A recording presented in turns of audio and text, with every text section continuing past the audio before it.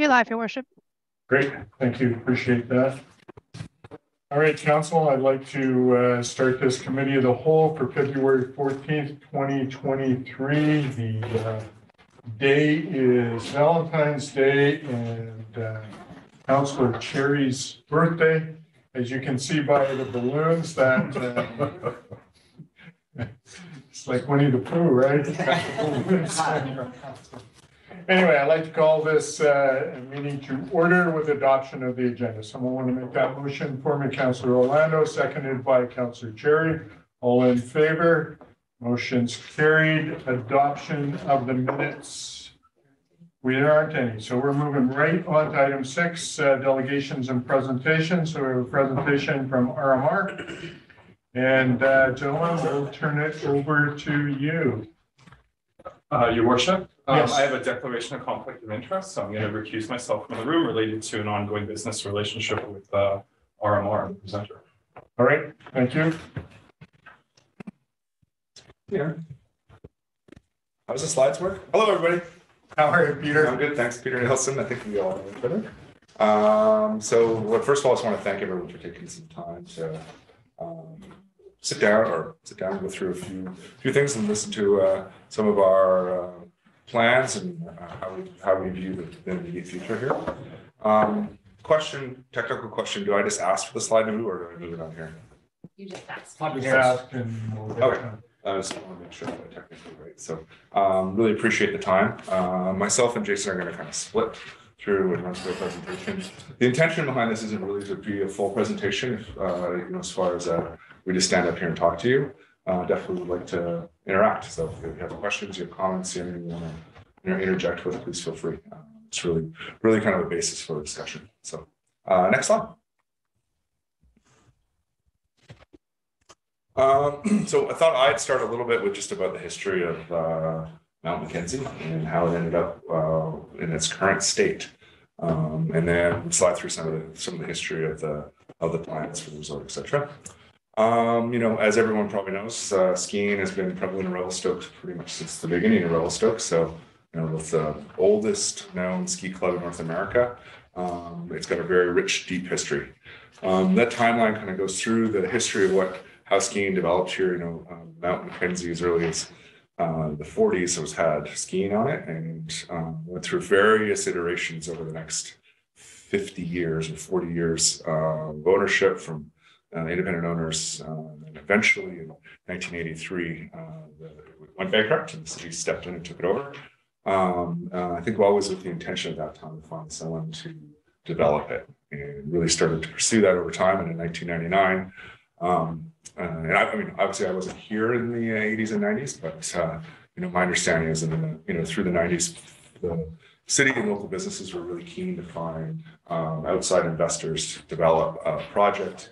Um, you know, really looking towards a world-class ski project, um, right in at the foot of uh, the town of Revelstoke. In 1999, um, investors were found, so original developers of resort um, engaged, and um, in 2003 started moving towards uh, an MDA proposal, and in 2005 that MDA was was signed. Um, and then two years later, a lot of, after a fury of activity, lifts and infrastructure getting put in, uh, Revelstoke Mountain Resort opened. Um, not quite as it is today, but with uh, about half the lifts that uh, uh, in 2007, with the completion of Lower Gondola and uh, River Chair in 2000 for 2008 season. Uh, next slide. Um, maybe jump to the, these are kind of the wrong order. So if we go to the next slide one more time, I'll come back to that one. Um, so what I wanted to talk about was our immediate future in on-mountain planning. Um, so we are, you know, we've been working, you know, there's the, the master, the original master plan as far as lifting, lift uh, locations actually has about 20 lifts on it. Um, we've identified these as our priority lifts in the next 10 to 15 years. Um, and the focus really is on five lifts. Um, so there's, I'll, I'll point them out. So there's three, six, 15, 13, and 18. Um, our, the three lift system here um, is really about um, three things uh, uphill capacity, uh, redundancy and capacity out of the village, and uh, tr- some train expansion. Um, so our priority is actually fifteen, so that's the lift, uh, this one here. That takes, um, we'll, t- you know, we'll, we'll again kind of step up the level of brand recognition for Revelstoke as we climb our uh, vertical drop from fifty-six hundred to so over six thousand feet. Um, basically goes to the top of Sub Peak, if you're familiar with that. Uh, very long, very big lift, expands our terrain by over three hundred acres. Um, and will give you access basically to the whole mountain right from the top. Uh, so in the ski business, this is a spectacular lift. This will be, this will be, um, uh, regaled amongst the skiing community. Um, and we're super excited about that being a priority. Um, it's, and, um, along with that lift, the six and three that come down the base, the six is a lift that is over some of probably the best blue skiing terrain in the mountain. Um, and, and, um, it also provides connection to 15 and three is that connector lift that'll take you out of the village. So it's, we, we really want to build the three lifts in a row, um, as from top to bottom, um, essentially doubling the capacity of what we currently have coming out of the village. Um, and kind of future proofing us for quite some time for development to be able to, to, to provide a great experience for folks. So um, lifts and development of beds and access and visitation have to be in balance. Um, otherwise, you end up with things like massive lineups to satisfy people and poor experiences. And we want to, with our lift system, stay ahead of that development and make sure that we're always providing an excellent world-class experience on them. Um, 13 and 18 would come later, and they're really about accessing new terrain in different zones. Um, and, uh, but our priority are those the first three. Um, just to give some context, the you know working budget for those three lifts is just under 60 million dollars.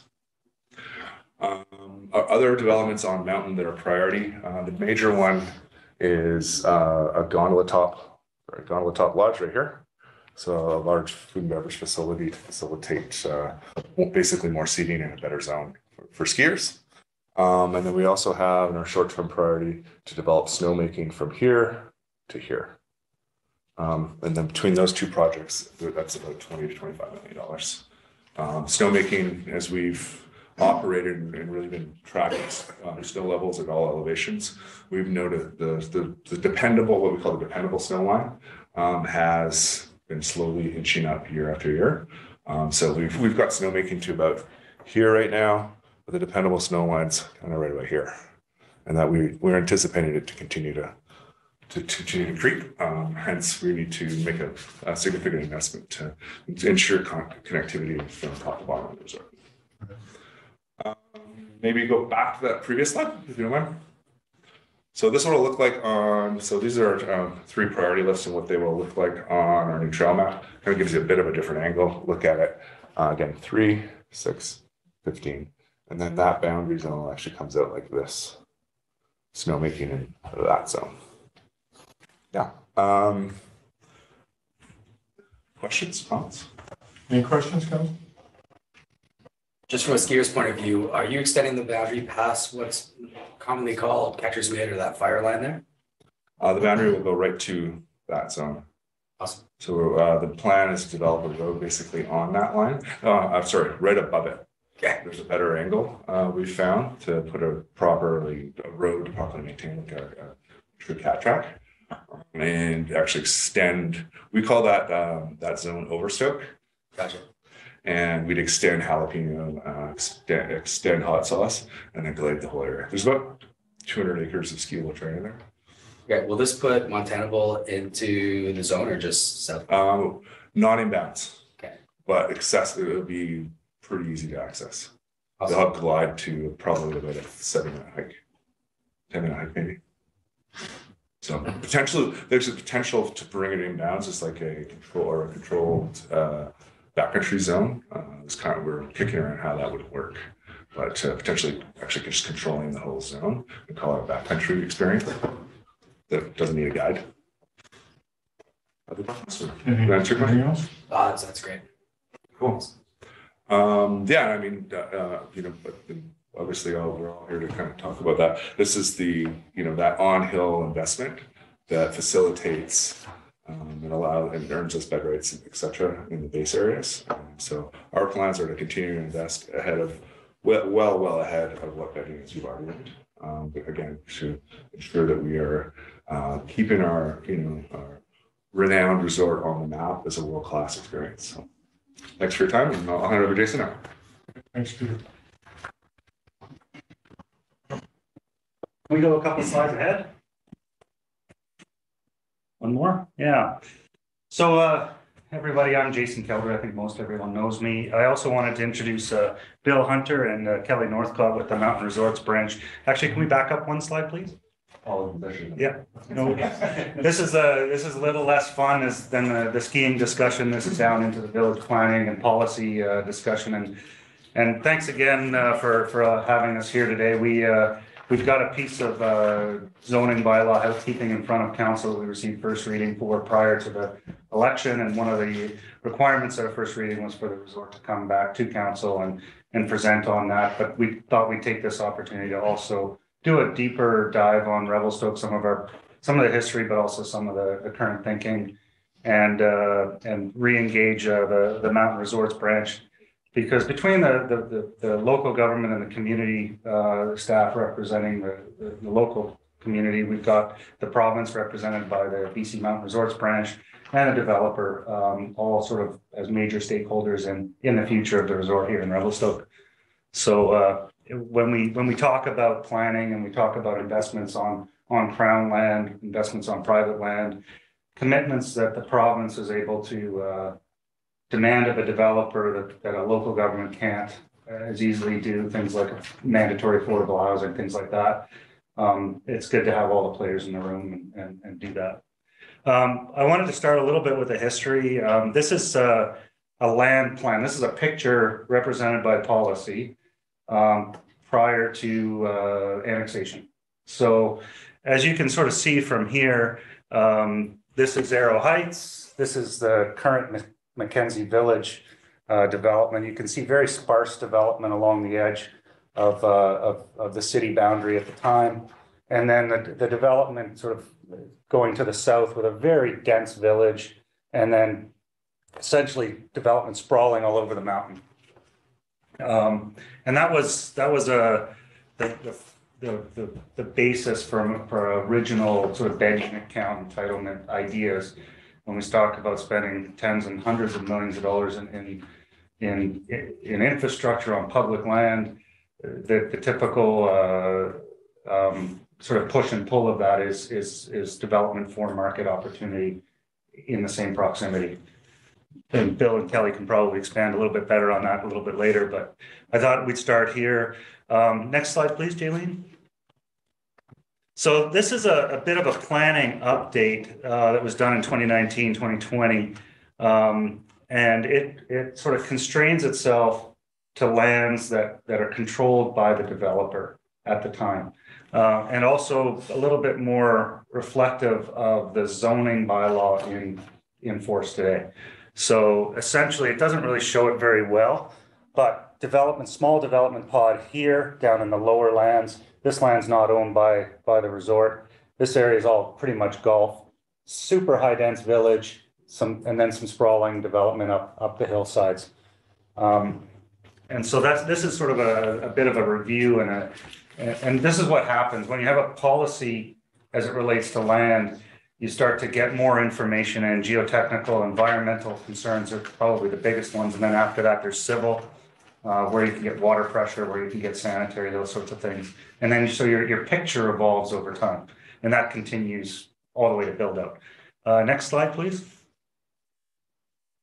So in, in 2022, 2023, we started looking at the lands a little bit less constrained by the zoning table that we, that, that we're contemplating second reading in, the- in the upcoming council meeting. And said, okay, if we didn't have, if we followed the intent of the original master development agreement, the original master planning document and the text within the OCP, what would we do with the land that's maybe a little different? Um, and we, we, we engaged a, a, know, world-class planning firm out of the US. It's done a lot of these mountain communities as well as lots of work in, in Canada, including other areas in BC. And, uh, and we sort of had another look at the land. Um, and what we've done is we've really identified, we've got a, a parcel of land down in the bottom This is lower elevation. There's a quite a steep embankment here as you climb up towards the, uh, the elementary school. This area really sort of associates itself more with Revelstoke proper and, and, and Arrow Heights. Then we've got sort of this long bench that sort of follows through here, and there's an escarpment that follows this line.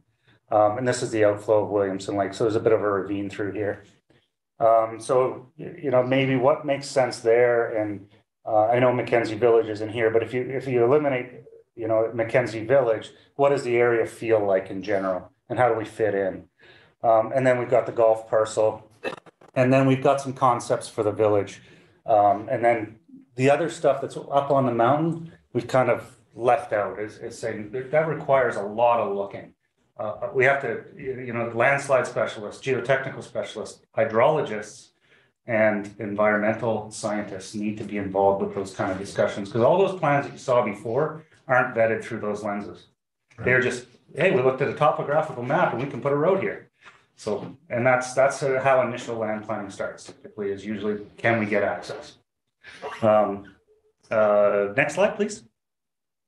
Um, we put this slide together, um, to basically I, identify and, and communicate, uh, lands in and around the CD eight zone controlled by the developer. Um, the stuff in blue is lands that RMR has, has, has either title to or some sort of control over. Uh, the land in yellow is owned by JS Park, uh, private individual, uh, lives in Korea, and we have a current contract uh, to purchase that land, potentially. Um, so we're looking at that from a planning perspective. You saw the last slide, there was land planning over that land. Um, so that's, that's, that's something we're looking at to try and bring the parcel to be a little bit more cohesive, if you will. There are other future lands that can be taken, taken down from the crown as a, as a compensation for the up mountain investments. Lands you saw up on the hillsides, lands out to the south, lands at mid mount, or not mid mountain, at- at Revelation elevation. Um, they're all identified as part of the mountain, uh, sort of the master development agreement. That, um, once investments are made, there's a phasing table, there's a calculation, uh, associated with that. The Mountain Resorts Branch audits that, and then there's a price uh, that's preset in the, uh, in the agreement and in the policy with the province for the developer to buy that land. And then those entitlements, those bed units get transferred to that land. Um, one thing we wanted to point out, um, is Williamson Lake. There's been a lot of, I've, I've worked with the resort for about a year now, looking after the land and the development side. And I've heard a lot in town around Williamson Lake and, uh, how important it is to the community and how, um, and, but also there's, there seems to be a little bit of a misconception around, around lakeshore ownership and control. And so this map, I hope, will, will sort of further identify what, what, what the, what the land ownership around the lake really is. So this is the city park. This is the RV park. There's the beach. Um, this parcel was subdivided and, uh, turned over to the, city as part of the master parks agreement. This is a city park already. This, this piece of land is subdivided, but not transferred title yet to the city. It's pending, it's because of some litigation that named both the city and the developer with an injury on the lake. I think most people are familiar with that, but the agreement to, to, to title that, that's been, the, the plan has been posted by a BC legal surveyor. It's just pending some, some legal administration.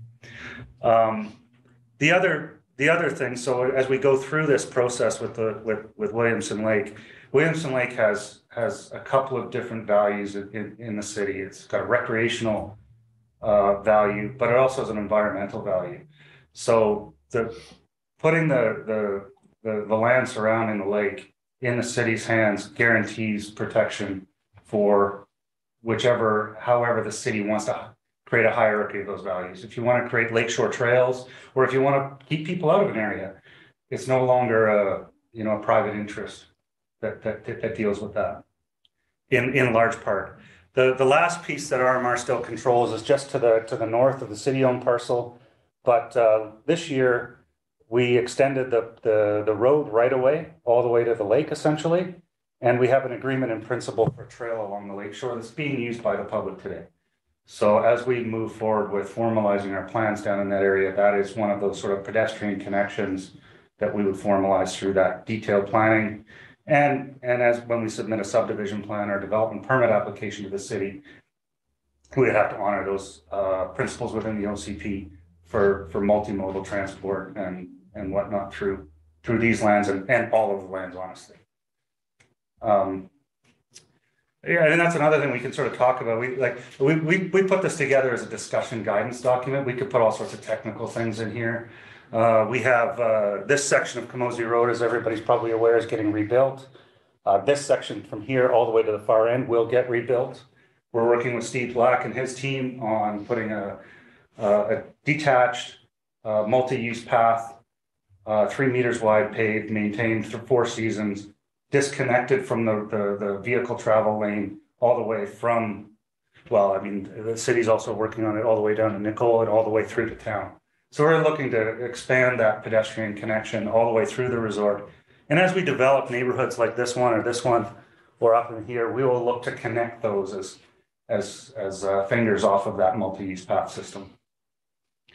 That, that, those policies are sort of enshrined in the OCP, so as we get into detailed planning in each neighborhood or every subdivision, those are things that will have to be accounted for and managed at that time. Next slide, please. Um, we wanted to talk a little bit about, about the original planning and, and the bed units and, and how this all sort of worked out back in two thousand and three.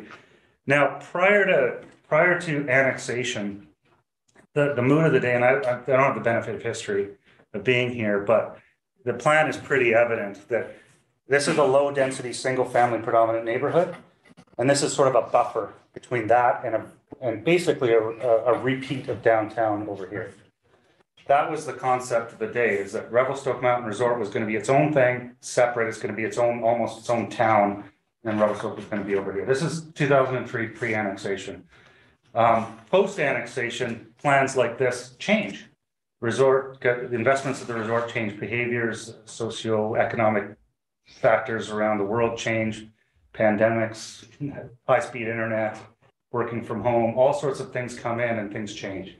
Um, but, uh, and, and with that, areas just outside the boundary, for example, um, you know, if you look at this area, this is Mackenzie Village.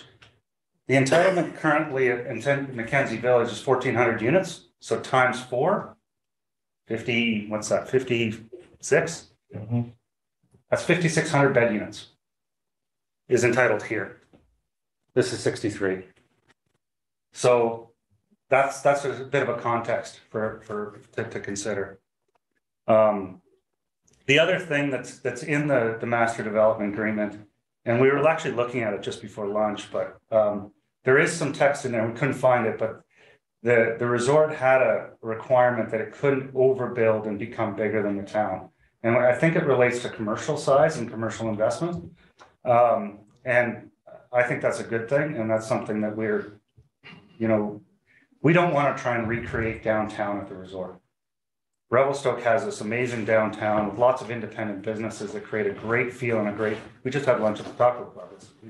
We want to, we want to be um, supportive and, and, and, uh, we want to be an accessory and a, and a, and a, uh, collaborative use rather than a imposing or a dominating use at the resort. Because that's what I think will drive our brand, guest experience here, people that want to live here, uh, all of those things will be better if we do it that way. And that's, so, so essentially the two thousand and three map, uh, we have enough policy around it to meet those objectives, but the map, for example, we can all agree is probably nothing that we want to try and pursue. Things like driving ranges over ri- rivers, things like that, things that we never do in real, in, in real time. Next, uh, next slide, please. Um, so this gets a little bit to the technical part of the, the reason for the, um, committee of the whole delegation. Um, in the current zoning bylaw, the, there's a table that's divided by area. And then unit, and then entitlement was granted to each area. Uh, From the research I've done, it, it seems like prior to, prior to the financial troubles in the, in the, in the recession, the partners at the resort brought their lands to the table and didn't vend the lands into the deal. They kept their land title. And so how that worked is, is they got entitlement for their piece of owned land as it related to the limited partnership of the resort. It wasn't actually controlled by one master developer. Um, but going forward, um, as we, as we look at the, uh, at the, the table and how to, how to do a little bit of housekeeping to keep it a little bit more in line with the OCP and in the, uh, the MDA, uh, we've, we've asked for a, a, the ability to move thirty percent of the density out of the core, you know, that sort of re-village concept from the two thousand and three plan, and move it as a maximum of fifteen percent to any other parcel. So to, so working with, uh, with Mr. Simon for the last year, and, um, if we, if we took the, the, the full maximum amount of density that could be moved out of the core and moved it to the lowest parcels, what would we end up with? And that would be these two parcels down here. So we would move from, from, you know, uh, these numbers in here, and they're, they're also in your, in your, in your staff package from, from, for later today. Uh, but, uh, next slide, please. This, this is basically a, a, a table showing density by type in each area. So area one is the core. That's where they're sort of recreating that, you know, a new city center. Um, blue is commercial floor area. Uh, orange is hotel. Gray apartment row is is yellow, and single family is blue. If we took all of that thirty percent, that maximum you could take out of there, and applied it to the two areas with the least, that's what the table would look like. That's how the balance of development would follow across the land If we did the most extreme amount of transfer.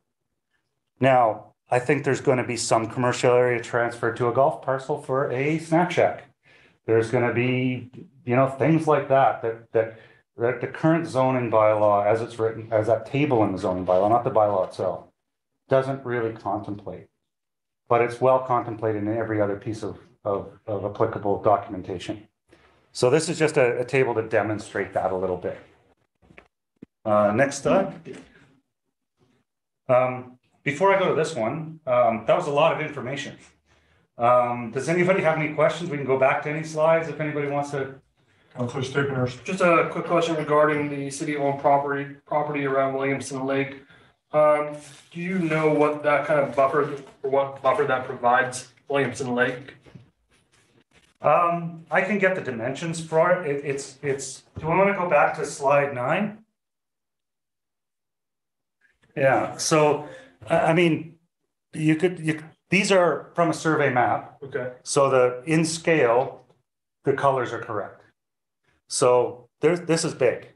I mean, this is half the width of the, of the city park. From, from high, from uh, high water to the, to the edge. This is a little bit thin, but I think this is because there's a cliff. And surveying half a cliff is difficult. Um, and there's also a creek that comes down through here and then sort of washes over. Um, do you happen to know the name of that creek by chance? oh, Which one, Nick? the one that goes down through the old spa site. Uh, Hayes, Hayes. Hayes A or B? it's Hayes. Hayes. That's what's on there. Yeah, Hayes Creek, yeah. Yeah, so that, you can actually see the delineation of the creek, that's a survey of the creek, done by a legal survey as well. Okay. So that, some of the permitting with the province as it relates to the environment requires a, a biologist to set high water mark and a legal surveyor to survey that high water mark. That can't be done by a construction surveyor, it has to be done by two professionals associated to the, to their associations. Yeah, if you're not familiar with the land on that side of the shore, it is, it's quite steep. Yeah, it's a cliff. Follow up, Council? No, thank you, sir. Council Palmer? Uh, uh, Thank you, Mayor Sulz, and uh, th- thank you uh, to the team there for uh, bringing this. Um, Certainly uh, appreciate it. And um, I thought I'd just mention uh, for those that might be watching this, um, the, uh, you know, why, why this uh, committee of the whole, it was um, the previous, this, uh, the motion or- or uh, this addressing the uh, density shift was uh, looked at the previous council and uh, the previous council thought this should be uh, coming before the new council because it was right at the end of their term. and uh, have a better understanding. And um, certainly, this is a good start for that. Um, just a little bit of con- so sorry I couldn't be there in person. I really would have liked to have been there. Uh, it's a lot easier, and uh, one of one of the things that's notable to me right away is I can't actually see where you're gesturing on the uh, slides. So um, uh, it's a, a, little bit difficult to follow, but I'm pretty familiar with the areas. Um, uh, so I, I, have a sense of it. Uh, um, the uh, a couple questions. So the, the two, 2000, re, a few of the slides you referred to 2003 um, entitlements. So were those in the um, the original master plan, or was that before, or was that were those entitlements included with the original master plan? Yeah, those excuse me, those entitlements are, are, contemplated in the original master plan. When it was updated in 2005, the entitlements actually jumped to 16,600. Um, so there's slightly different planning densities around that. So you, you, you're using the term were anticipated. Were they actually in a plan or was that just some of the early early work? Because I, I hadn't seen that before. So I'm just trying to get a sense of the, the history. Was it just some of the earlier discussions, the 2003 entitlements? That was part of the original plan that formed the basis for consultation that formed the master development agreement.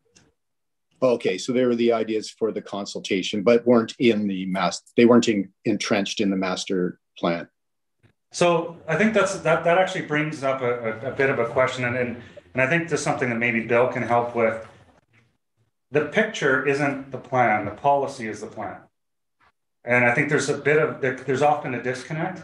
There's not a review and approval of a picture, there's an approval of policy. And policy gives the developer the opportunity to go and do further due diligence, refinement, and digging, mostly around the environment and the geotechnical hazard and the hillside condition. Yeah. And then they can update the picture and come back. And at that point, it's subdivision application and development permit.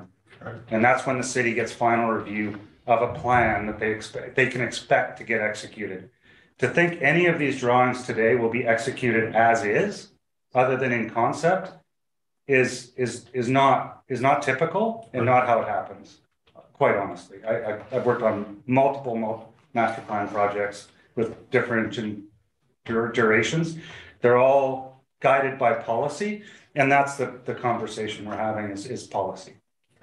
Follow up, Councilor Palmer? Uh, yeah. Um, so what what I'm trying to do is, uh, you know, the intent with the original uh, council is, you know, getting a better understanding of what's happening. Uh, so, um, you know, the the history and where we are, and um, I did look a little bit at the original, um, some of the documentation. There was very, very, very extensive documentation uh, um, in the um, uh, that are at least appendices to the uh, um, original um, master development agreement. Um, just, just for clarity, you're saying that uh, the master development agreement does not have these uh, concept plans in. No, a, a, master development agreement references a master plan that's subject to change. And uh, in the next section, actually, we'll probably get um, you know, Bill Hunter's here. You can't see him, but he's the you know the, the director of the Mountain Resorts branch for the province. And uh, Kelly Northcott is a senior manager with the province. They they manage these sorts of things with local government in concert with local government around the province, and probably a little bit better to speak on that process. But no, you know, concepts that are used for the purpose, they're illustrative ideas of what could happen if policy is in place. Right. What will happen is subject to working it out with people like like Steve Black and and and and Paul Simon, and working it out with professionals, with biologists and, and hydrologists and geotechnical engineers and civil engineers. Um, to, to, to get a plan for this amount of land that we knew would be executable would be millions and millions of dollars in years and time. What, what, what zoning and entitlement does is basically provides a, a security for for the process to go forward to do that due diligence to see what we can come back with. That's that's what this is really for. All right, thank you for that. Councilor Palmer, another follow-up? Uh, thank you, Mayor Sulz. Yeah, and just for clarity, um, I'm just trying to get an understanding, and I certainly am well aware that every detail of uh, development wasn't anticipated uh, in this, and that includes why we have some of the density tables that were there originally, I believe.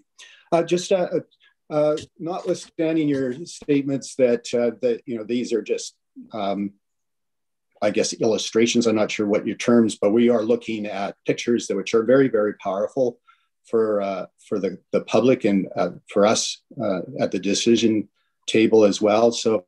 Um, I will refer to the, the, the plans that you've shown us. Uh, just the one that's on the on the um, screen right now. Uh, you were talking about uh, the red. I just specifically interested in Williamson Lake and the red that you brought to our attention.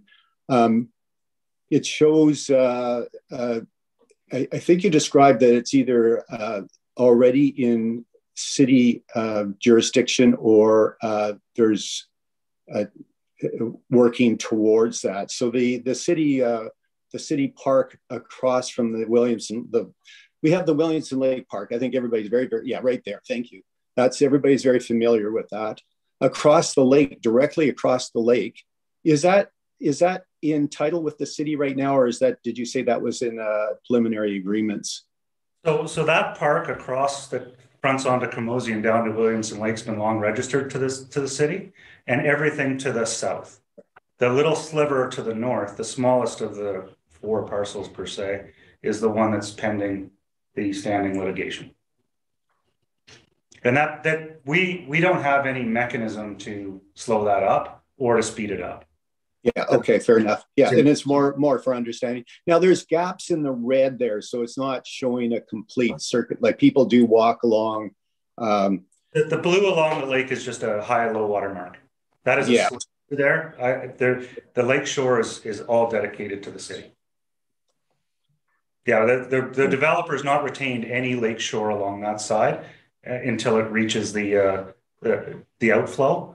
And then we've got, uh, the parcel between there and the city lot, um, that, uh, that we've retained and, but we have a, a, a trail agreement in principle with the city.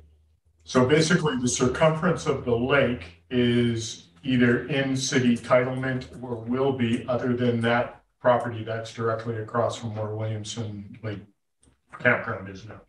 Correct? Right. Yeah, so the, the stuff to the gray, that's owned by a private individual, actually JS Park, as far as I Yeah. understand. Um, so that, that, if, if the city wanted to get the entire circumference, uh, we, we still have some, we'd like to do some planning down on that land in the, in the bottom. Um, and we, you know, potentially like to have some access to the lake, but we recognize that the foreshore uh, would, would have a, a trail with public access. Right. And we've, we've demonstrated that through, through recent road dedication down there. To, I mean, the city's got good access right to the edge. Council Palmer, do you have another question? Um, yeah, so and just on the uh, the golf course, so there's been interest in. Uh, I know there's not too going to be too much focus, but part of the reason for some of the shifts, if I'm understanding correctly, is uh, over time where the golf course ultimately is going has shifted from what was originally anticipated, uh, and that's uh, one of the driving uh, factors, I believe, for the, some of the shifting. Is that is that accurate? I, I wouldn't say so. I would say uh, the original, the there's there's definitely some property that was and wasn't owned uh, at time of, of of annexation. I mean, at time of annexation, the ownership was different than it is today. Right. It went through a bankruptcy, um, and with that, not every parcel was vended into that limited partnership. And so this is why this ownership map makes sense. Now we get to see um, what is actually within the with, within the, the parent developer's uh, purview. Uh, there's lands off to the north that the city's been contemplating applications on that was owned by one of the previous partners. There's a de- development entitlements on that. And that's an example of how a partner brought some land to the table in exchange for some investment, got entitlement back. And that's really why the table's there, as far as I can tell. Um, and, you know, maybe, you know, Mr. Simon can help me, but I mean, we've, we've gone through this. I've never seen a table like this anywhere in any zone, in any municipality I've worked in Western Canada. It's, it's unique, it's interesting. So the history was something I wanted to kind of try and figure out. And it's, it's definitely not clear, but it wasn't, as far as I can tell, it was not to, to specifically in- influence land planning more to inv- influence development partners in an LP.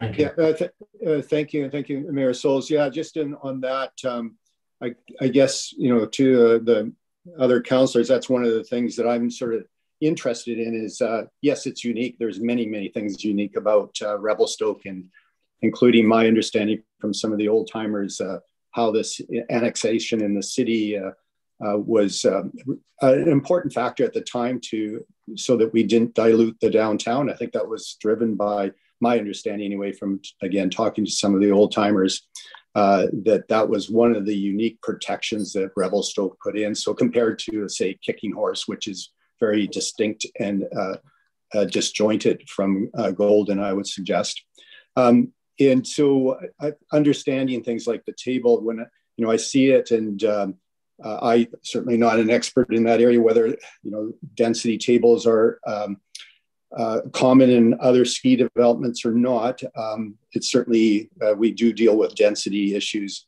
uh, in OCP and uh, zoning uh, all the time. That's a, one of the major things that we're dealing with that.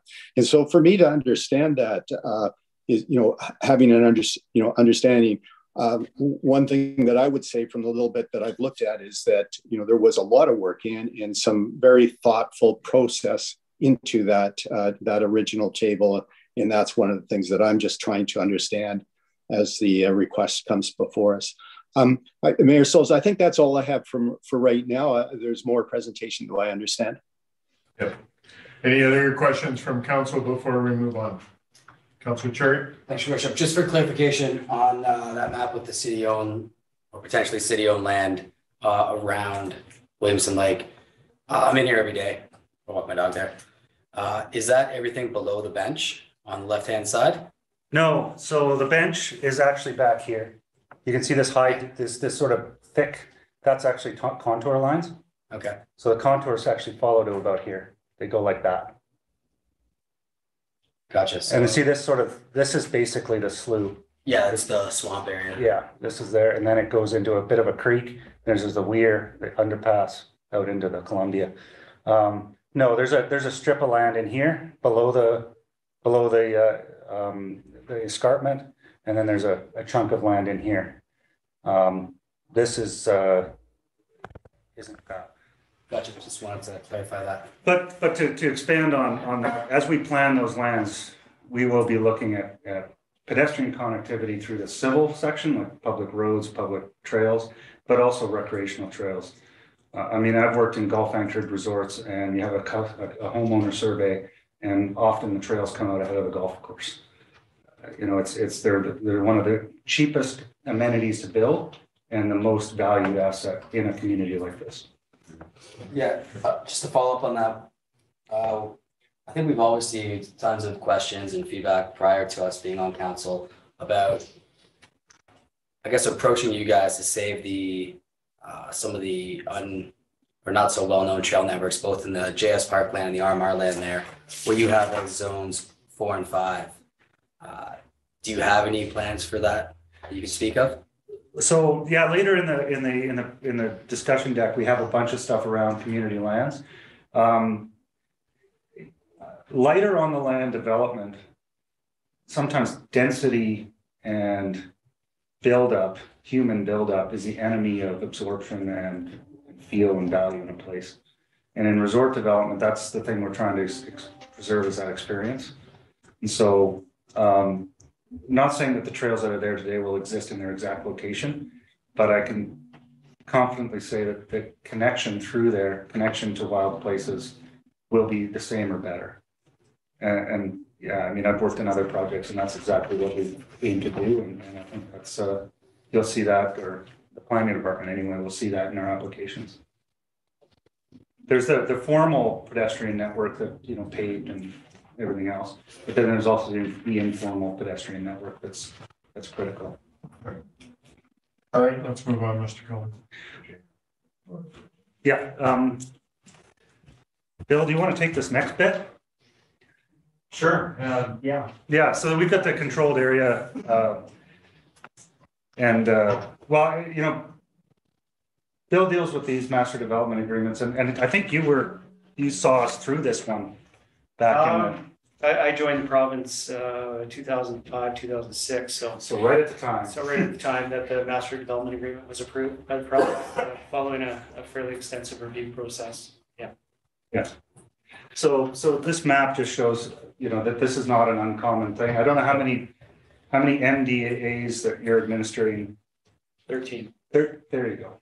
yeah, throughout the province. Yeah, and they're all, they're all, they all have similar, um, similar language, similar intent, similar program. Yeah, uh, and first of all, just th- thank you very much for, uh, having Kelly and I here to, to join in the conversation. We appreciate that. Um, we administer, uh, master development agreements for major mountain resorts as well as community ski areas throughout the province. Anything lift-based, uh, comes through our branch and we're located in Kamloops. Uh, we're now part of the Ministry of Tourism, Arts, Culture and Sport. Uh, we've just been transitioned over from FLNRORD, the, the large ministry that uh, disaggregated. But the branch still has that function of administering master development agreements, um, conducting, facilitating major project review processes under our all seasons resort policy. And delivering downstream land and tenure, land and timber authorizations uh, for resort operators and community ski areas to implement their master plan. So they, uh, you know, upon approval of a master plan and a master development agreement in this case, but for a community ski area, it's an operating agreement. Um, we deliver, uh, cutting permits, we, under the Forest Act, we deliver crown land tenures such as leases, licenses, statutory right of ways, as well as crown grants for, for residential and commercial development within the, the approved master plans. Two slides ahead, please. I might step forward here. Yeah. Two, yeah, uh, again? No, uh, head, sorry. The other way, yeah. One more? One more? Yeah, there we go. Um, yeah, so. Bill, Yeah, um, well, um, I might just, uh, uh, speak to the, the major project review process, you know, the master plan that we, we receive, uh, as an initial submission often, uh, is modified, uh, through, uh, the stages of a master, a mas- master plan major project review process. And that's based on the comments and input that we receive from local government, from stakeholders, le- you know, legal interest holders, uh, First Nations. We conduct uh, First Nation consultation, and uh, our basic process is to identify uh, concerns, conflicts, uh, potential negative outcomes from a proposed development, and work with the proponent and the uh, the participants, local government, First Nations. To come up with mitigating measures, and that may mean changes to the master plan itself, or conditions that get tied to the master development agreement. Um, so, uh, I think I heard that, uh, the initial master plan submission was around fifteen thousand bed units. And I think the final approved master plan contained sixteen thousand six hundred in this case. Uh, and that was, uh, following that review process that, that we undertook, uh, almost two decades ago. And uh, what we receive, uh, you know, in the end is a, a master plan that's referenced in the master development agreement. And uh, the master development agreement recognizes that big total bed unit amount. And I think in this case, there was recognition of, of the city of Revelstoke and the resort not becoming a dominating entity. So it, it's actually got much more recreational capacity and a lower amount of bed units in this case than we see in other, other major resorts in the province. Um, but uh, the nature of a master plan is very much conceptual. Um, we, uh, we anticipate that the developer through time will, uh, will conduct various studies that are often uh, included as conditions in the MDA uh, or required by regulation. And uh, that that's going to inform the final engineering and, and final design of any parcel or development that's proposed within the master plan. So we expect there, there to be shifts. And we also recognize that it's, it's not the province's um, role to, uh, to dictate how the resort responds to, to uh, demand of market for real estate, for commercial real estate, for residential products. Um, and even on the mountain, we recognize that what may have been a fixed grip four-person chair may evolve into a, a gondola or a, or a six-pack. So we recognize that there is a, a progression of information that's accumulated by developers over time, and that the final um, application that we receive is going to uh, include those refinements and, and shifts. And that could be, it could be uh, multifamily to single family. It could be um, uh, including a, a hotel in an area that is going to complement the skier services and final lift design, skier staging. So we understand that it's going to morph over time. Um, but it's our job to make sure that uh, we're reviewing their application in uh, in consideration of all the legal conditions that are in the master development agreement. And that um, we're doing our, our bed unit uh, calculations to make sure that the uphill capacity, the recreational capacity of the mountain um, is is in balance with the uh, base area village. Uh, so that we never get um, the situation where the base area outstrips the, the recreational capacity of the mountain and creates a negative experience for skiers. Um, uh, we see Whistler Blackcomb uh, right now uh, kind of working through bottlenecks and, and implementation of their plan. So uh, we're mindful of uh, how it evolves and, uh, and and recognize that the, the resort developer has that role to to determine market and uh, those market priorities so that they're successful in the end uh, financially and, and creating a, a strong brand and ski experience. Great, thank you. Can we go to slide eighteen, please? Let's try and get through pretty, we only have a few minutes, so. Um, so we- we just want to jump ahead to some of the things we're working on. We're contin- continuing to develop our brand and the quality of experience. Peter talked about adding lift capacity. We, we are gonna, if if we start making some more investments up mountain, it's gonna be, it's gonna be amazing for, for the amount of skiers that we have. It, it's, it's great. Uh, we're looking at the resort to try and create a little bit more vibrancy around the resort. Again, complementary to downtown. You'll see, uh, an amendment at some point for the, what we call the Heli Hotel. Looking, trying to put a pedestrian access to the Rockford Mac Tavern area. Try and connect everything together where people on their feet rather than in cars or crossing car areas and, and trying to create some vibrancy there. Um, design some all-season facilities. We've got golf coming, but, you know, golf is a short season. So trying to look at some amenities, uh, on the resort. Um, start really working on parking and transit. Uh, you know, we've had some good conversations with, uh, Mr. Parliament and his team about that. We want to continue that. Um, you know, there's interesting stats in the US when you look at resort markets. Um, the most, the resort transit with the highest ridership is Aspen. Aspen is also the highest area of assessment value in the US. So a good quality transit system that works better than driving your car, doesn't matter how rich you are, you're gonna take transit. And I think, you know, it's not, I think that's something we can aspire to here.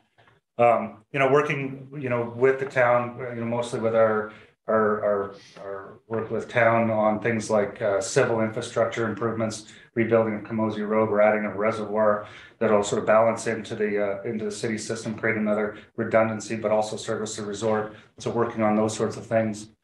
Um, in the OCP, there's a section around social impact study that was done as part of the annexation process. Obviously, there's been a couple of decades around, uh, so there's some updating of that sort of study that needs to happen. RMR wants to be at the table for that sort of thing. There's a lot of, a lot of impacts that have changed between then and now. Things like high-speed internet, working from home, the, the, the, you know, changes in the forestry, the hydro, the, there's so many changes. So to try and capture that and how, how do we work with the town, with the business community in town, with the hospitality community in the town? Um, so that, uh, I mean, we need them to provide those short-term rents so we can get people up to the resort. So we, we just want to re-engage at the table on that side. Um, again, that's more stakeholder collaboration. And then, uh, as we, as we sort of unlock some of these policy roadblock, well, this current policy roadblock we've got in front of council, then we can start moving towards, uh, some of these planning processes and, uh, We've got a, a phasing update that we would do with the province that would come back to local government as well. And some public engagement process around that, but also development per- permit and subdivision application. Um, next slide. Uh, where are we going? Next slide. Uh, we just, could- next slide. Um, so, you know, in the near term, we'd like to look at, uh, this commu- community housing neighborhood. Um, this, this, uh, area in blue is sort of, we consider this sort of phase one resort. So that's North Village. So that's from the gondola line to the north, um, and the golf course.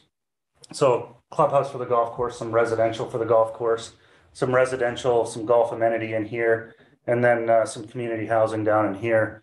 Uh, we, we would like to look at transit and, and airlift, potentially some amenities and some environmental reserves down in this area, things like that. Um, that's, that's what we're, that's how we're thinking about development as it goes forward at the village. Peter's obviously giving you an up mountain sort of overview as well. Uh, next slide, it's more of the same, with less bubbles around it. Um, and we've got new gondola, hotel opportunities in the resort. Um, you can see there's been a hotel explosion in town. We'd like to get a few more people staying at the resort. Um, we're happy to have those short-term rents in town. Um, uh, and by short-term rents, I mean hotels. Uh, and then, uh, yeah, skier services and then the community housing neighborhood. Caveat, we don't own this piece on the end, but we do have permission from the landowner to, to look at that and try and engage. it. She's interested in community housing as well. Um, next slide, please. Um, so we, we, we included this. Again, this is an example of, of concepts that, you know, with, use a policy and then you develop concepts. The iterations, the pictures can be, there's almost no end to it. So it's, uh, you can sort of see that this, we call this the Cabot Lands. This is the, the new Heli Hotel under construction. This is the Sutton. You know, if we look at this area to the north, we could do something like this, parking down in here. Maybe we move parking in here. You know, this one has a spa concept in here. You know, we have to do market studies, we have to do geotechnical analysis and, and that's the sort of stuff that we'd like to get excited about. Next slide. There we go. So this one is, uh, we, we actually had our, our planner have a look at this lower land. So this is that escarpment. This is that, the old gravel pits right here. Um, so you sort of look at, this is higher density housing, number of different iterations of different types. We'd have to do more studies around uh, what we would build and retain for rent, what we would sell to the market, what we would, what would we try and put deed restrictions on in terms of occupancy. Um, the one thing I would say about this land down here is that we would, we would, we would deed restrict that to not have short-term rental. We're not interested in creating another hotel zone down in our community housing area. So that would be that, that thirty-day minimum. Or, or we'll end up probably retaining a bunch of it for rental. Right. Uh, or, or deed restricting it to, uh, to, to resident. We need housing as we grow this resort for, for, you know, as we add hotels, we need general managers for those hotels, we need food and beverage managers, we need chefs, we need any number of these, these professionals. And, uh, hou- housing in Revelstoke's a challenge. Uh, next slide, please. We've actually done a little bit of studying around this. Um, these, these ones up here up are more on the top. But these are, these are examples in other mountain towns around the US, Whitefish, Breckenridge, um, other towns of similar size to, uh, to Revelstoke, Jackson Hole. And so we're sort of, next slide, please. So we've sort of looked at, yeah, here's, here's one big sky. This is planning Wellington and Bre- Breckenridge. All of these are resident housing in those resort towns. So this is something we'd look, like to look at as part of this, this process is, is, it's actually the lowest hanging fruit for us. Right. It's flat land, it's down below, it has less geotechnical constraints. It's sa- it's fronted by road on two sides. It's, it's, it's pretty quick stuff that we can, could move forward. And all of these towns are about the same size as, uh, as Revelstoke and experiencing the same housing challenges of Revelstoke. Next slide. That was it. We tried to get it done in time. Uh, I wanted to have a few minutes for questions, but I might be out of time. Well, just, uh, just before we, uh, go into the council meeting, so, um, we, we have that text amendment in the council meeting, or are you just gonna stick around in case Yeah. we have questions? I will, yeah. and again, that, that text amendment, just as from my perspective, and, and, and, uh, and Paul will have more color on this, but the, the hierarchy of, of documents really goes, you know, uh, uh, regional growth strategy, OCP, then zoning. Um, and, and oftentimes, well, there's actually, you know, the, the province is trying to allow municipalities the tools to adopt zoning bylaws that are in keeping with the OCP with minimum process, because that's, that's recognizing the hierarchy of, of how this all works. We are, we are, it's not a perfect zoning bylaw. We're working with staff um, to, in the long term, we would like to do an update, full council engagement and, and the public engagement around updating uh, the CD eight zone and the zoning bylaw uh, associated with it. Uh, these master plan communities typically have their own section in the OCP uh, because they're intended to be act outside of what is right for Maintown or, or some industrial district. They're, they're meant to act on their own. Uh, the OCP is actually in pretty good shape for the CD8 zone. Uh, the zoning bylaw could use some help, but uh, it's a long-term effort and, in time, we look forward to doing that, but we've got some investments we'd like to make on Mountain and we've got some housing we'd like to deliver to the market. Appreciate it. All right. Thank you. Any other questions from council? Seeing none, Councillor Palmer, you have a question before I shut it down?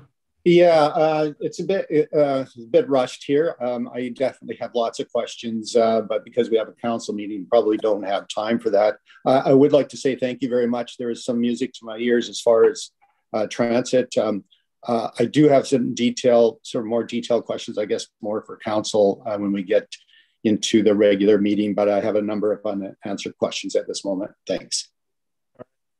Councillor Palmer. All right, council, I'm going to ask for a motion to adjourn the uh, committee of the whole, and we'll take a five-minute break uh, before we go into regular council. Moved by Councillor Lucio, seconded by Councillor Devlin. All in favor? Motion's